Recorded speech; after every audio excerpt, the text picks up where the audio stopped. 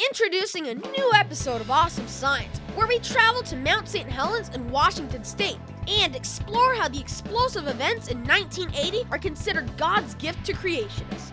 When the north side of the mountain slid into the valley below, it created a gold mine of research material for creation scientists like Dr. Steve Austin, who studied many of these formations. The valley below was covered with 600 feet of landslide deposits. The nine hour eruption laid huge deposits of ash and pumice on top of the landslide.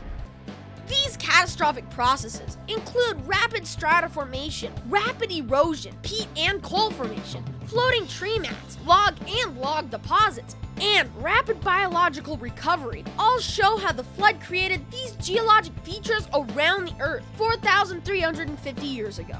Secular scientists have their own ideas about how the Earth was formed over billions of years, but they leave out God's supernatural touch and judgment. Many of the evidences they use to support evolutionary ideas are better interpreted when looking at them through the truth of Scripture. I'll also check out some cool sites around the monument, like Ape Cave and the Trail of Two Forests. All this and more in the Mount St. Helens episode of Awesome Science.